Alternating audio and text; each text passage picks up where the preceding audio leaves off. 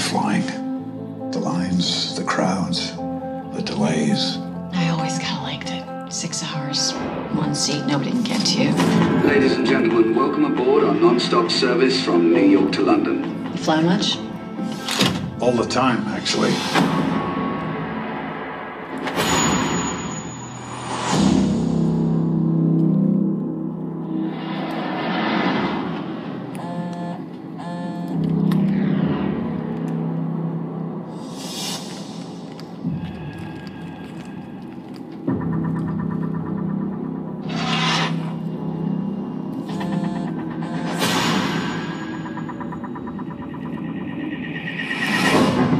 Someone on this flight is threatening to kill someone every 20 minutes unless $150 million is transferred to this account number. We're midway across the Atlantic. How do you kill someone in a crowded plane and get away with it?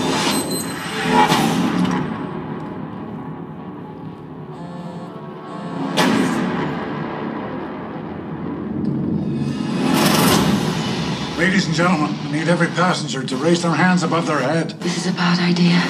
Marshal, we have a right to know what the hell is going on. Agent Marks, the account number you gave us is in your name. What? That doesn't make any sense. This is a setup. Something else is going on.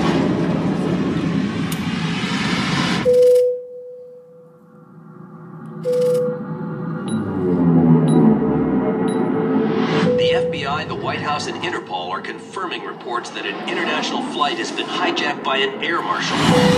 Agent Morse, our fighter escort has you in their sights. Do you hear me? We're running out of time. Do you hear me?